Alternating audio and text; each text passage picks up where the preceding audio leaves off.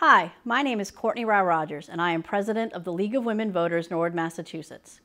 The League of Women Voters, a nonpartisan political organization, encourages the informed and active participation of citizens in government, works to increase understanding of major public policy issues, and influences public policy through education and advocacy.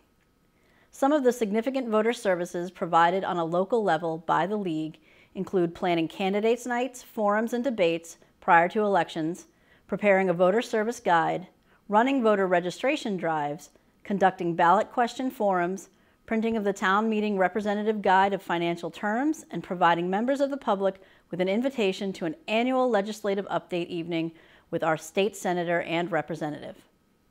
The League of Women Voters Massachusetts also offers exceptional programs, workshops, and conferences that League members may attend. The League also influences public policy by calling and writing legislators and by lobbying.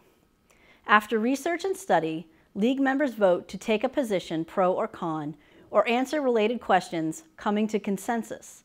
Once consensus is reached, action can be taken. This inclusive process is used on local, state, and national levels. Membership activity may be customized to suit individuals' needs. Some members choose not to be active, but join to take advantage of the variety of information membership provides. Whether you are a very active member or a passive member, your membership adds strength in numbers to our organization. Membership is open year-round to both men and women. For more information, please follow us on Facebook and Twitter at LWV Norwood MA or email us at lwvnorwoodma at gmail.com.